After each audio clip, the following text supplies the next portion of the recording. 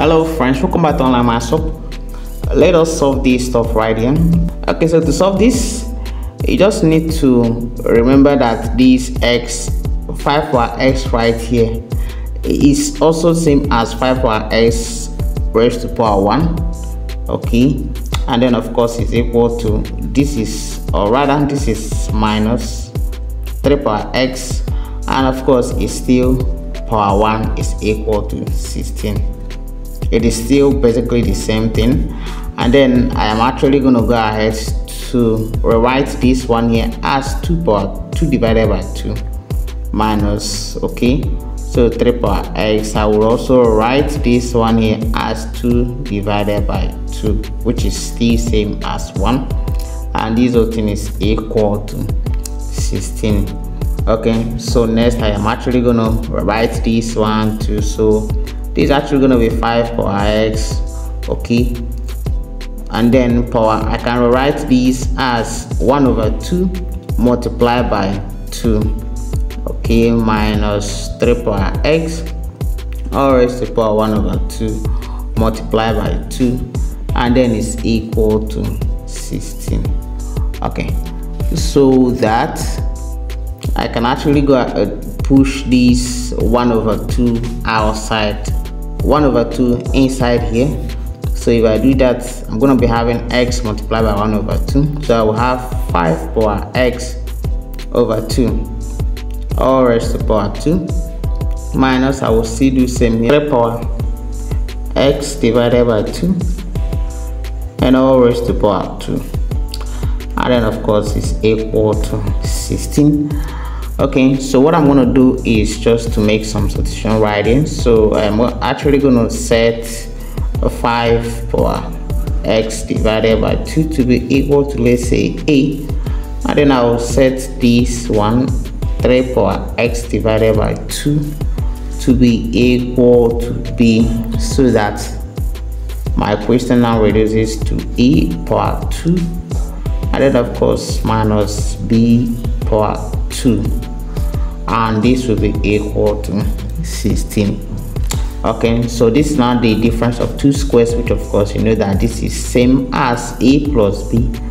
And of course multiply by a minus b is equal to 16 okay so i can actually write this 16 there as if uh, product of these factors which is just um, 8 uh, multiplied by 2 okay and that being the case. We can actually see that these two terms here which is multiplying to give us this uh, 16 right here that a plus b is strictly bigger than a minus b.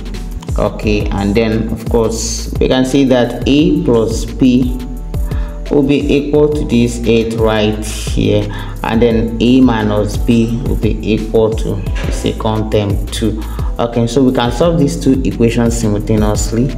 Okay so we can just add the two equations. This plus this will give us 2a and then this plus this is 0 is equal to 8 plus 2 is equal to 10 so if we divide through by the coefficient of a we're actually going to be seeing that a is equal to 5 and then of course if you want to also find out the value of p okay you can just go ahead to subtract the two equations.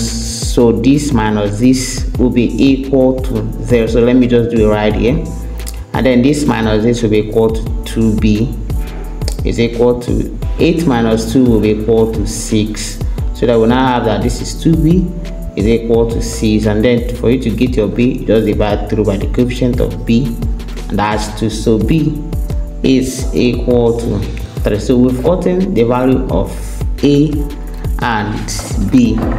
But don't forget we actually set our a and b to be something. So we actually set our a to be equal to 5 power x divided by 2 and our b to be equal to 3 power oh, x divided by 2 okay so for a we've got a to be equal to 5 so we'll say 5 is equal to 5 power x over 2 this is also 5 over 1 so because they have the same base we can actually cancel the the basis and then equate the power so that you see that 1 is equal to x divided by 2 so that obviously x is equal to 2 from here.